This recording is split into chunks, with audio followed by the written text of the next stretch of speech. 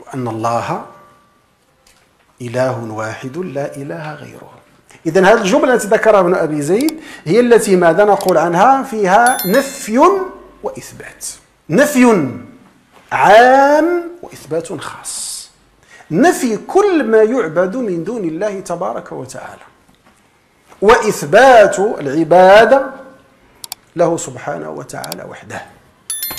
هذا هو معنى لا إله إلا الله.